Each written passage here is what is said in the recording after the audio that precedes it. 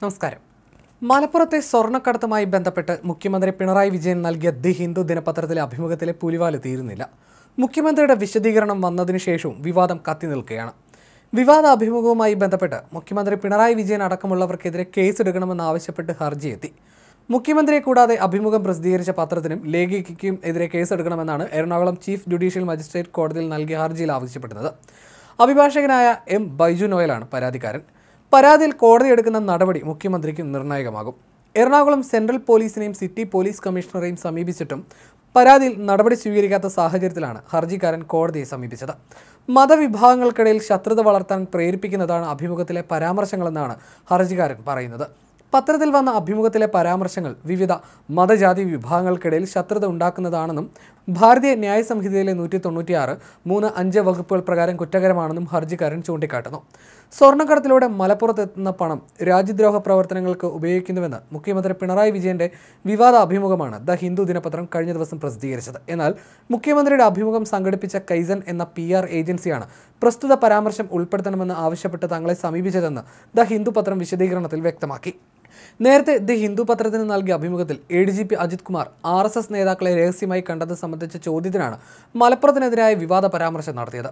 നാളുകളായി U D എഫിനൊപ്പം നിന്ന ന്യൂനപക്ഷം ഇപ്പോൾ എൽ ഡി എഫിനെ പിന്തുണയ്ക്കുന്നുണ്ട്. അത് യു ഡി എഫിന് നഷ്ടമുണ്ടാക്കുമെന്ന് മനസ്സിലാക്കി ആശയക്കുഴപ്പമുണ്ടാക്കുന്നതായി ആർ എസ് എസിനെതിരെ സി പി എം മൃദു സമീപനം സ്വീകരിക്കുന്നെന്ന് വരുത്തി തീർക്കുകയാണ് ചെയ്തത്. അതിന് കൂട്ടുനിന്ന് വർഗീയ വിഭജനം നടത്താൻ വേണ്ടി ചില തീവ്രവാദ പ്രസ്ഥാനങ്ങൾ പണിയെടുക്കുന്നു. മുസ്ലിം തീവ്രവാദ ശക്തികൾക്കെതിരെ ഞങ്ങളുടെ സർക്കാർ നീങ്ങുമ്പോൾ ഞങ്ങൾ മുസ്ലിങ്ങൾക്കെതിരാണെന്ന് വരുത്താൻ അവർ ശ്രമിക്കുകയാണ്. ഉദാഹരണത്തിന് കഴിഞ്ഞ അഞ്ചു വർഷത്തിനിടെ മലപ്പുറം ജില്ലയിൽ നിന്ന് കേരള പോലീസ് നൂറ്റി അൻപത് കിലോ സ്വർണവും നൂറ്റി ഇരുപത്തിമൂന്ന് കോടിയുടെ ഹവാല പണവും പിടികൂടിയിട്ടുണ്ട്. ഈ പണം അത്രയും കേരളത്തിലേക്ക് വരുന്നത് ദേശവിരുദ്ധ പ്രവർത്തനങ്ങൾക്ക് വേണ്ടിയാണ്. ആർ എസ് എസിനോട് സി പി എമ്മിന് മൃദു സമീപനം എന്നത് സ്വർണവും ഹവാലയും പിടികൂടിയ ഞങ്ങളുടെ സർക്കാരിനെതിരായ പ്രതികരണം മാത്രമാണ്. ഈ പരാമർശത്തിനെതിരെ പ്രതിപക്ഷം രംഗത്ത് വന്നതോടുകൂടിയാണ് സർക്കാർ വീട്ടിലായത്. അതേസമയം മുഖ്യമന്ത്രി പിണറായി വിജയന്റെ വിശദീകരണത്തിൽ നിറഞ്ഞതും സർവത്ര അവ്യക്തതയായിരുന്നു. ഒരു പി ആർ ഏജൻസിയും അറിയില്ലെന്ന് മുഖ്യമന്ത്രി വിവാദത്തിൽ മറുപടി പറയുന്നു. ഹിന്ദു പത്രത്തിന്റെ മാപ്പ് പറച്ചിലിനെ മാന്യമായ ഇടപെടലായി കാണുന്നു. ടി കെ ദേവകുമാറിന്റെ മകനാണ് അഭിമുഖം കൊടുക്കുമോ എന്ന് ചോദിച്ചത്. അതനുസരിച്ച് നൽകി. അതിനപ്പുറത്തേക്ക് ഒന്നും അറിയില്ലെന്നാണ് മുഖ്യമന്ത്രി പറയുന്നത്. എന്നാൽ ആ ഗുരുതര വീഴ്ചയിൽ സർക്കാർ അന്വേഷണത്തിന് തയ്യാറാകുന്നില്ല എന്ന സൂചനയാണ് മുഖ്യമന്ത്രിയുടെ വാക്കുകളിലുള്ളത്. പി ആർ ഏജൻസിയുടെ തലവൻ അഭിമുഖത്തിനുണ്ടായിരുന്നു. എന്നാൽ അതാരാണെന്ന് അപ്പോൾ മനസ്സിലായില്ല. ഹിന്ദു ലേഖികയ്ക്കൊപ്പം വന്നതാണെന്ന് കരുതിയതാണെന്നും പിണറായി പറയുന്നു. ഹിന്ദു വാർത്തയിൽ മലപ്പുറത്തെക്കുറിച്ച് വന്ന പരാമർശം തന്റേതല്ലെന്ന് പിണറായി ആവർത്തിക്കുന്നു. അത് എങ്ങനെയാണ് അഭിമുഖത്തിൽ വന്നതെന്ന് അറിയില്ല. തെറ്റ് ഹിന്ദു പത്രത്തിന്റെ ശ്രദ്ധയിൽപ്പെടുത്തി. അപ്പോൾ അവർ തിരുത്തി. മാപ്പും പറഞ്ഞു. മാന്യമായ ഇടപെടലാണ് പത്രം നടത്തിയതെന്നും മുഖ്യമന്ത്രി പറഞ്ഞു. മാന്യമായ ഖേദപ്രകടനമാണ് ഹിന്ദു നടത്തിയത്. ആരാണ് അങ്ങനെ എഴുതി കൊടുത്തതെന്നും അറിയില്ല. ദേവകുമാറിന്റെ മകനെ അറിയാം.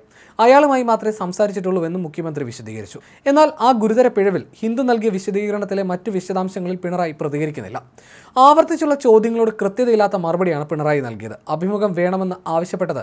ആലപ്പുഴയിലെ ദേവകുമാറിന്റെ മകൻ സുബ്രഹ്മണ്യനാണെന്നും അഭിമുഖത്തിൽ പറയാത്ത കാര്യങ്ങൾ വന്നെന്നും മുഖ്യമന്ത്രി പറയുന്നു. അഭിമുഖത്തിനായി പി ആർ ഏജൻസിയെ ചുമതലപ്പെടുത്തിയിട്ടില്ല. ഞാനോ സർക്കാരോ അത് ചെയ്തിട്ടില്ലെന്നുമായിരുന്നു മുഖ്യമന്ത്രി പ്രതികരിച്ചത്.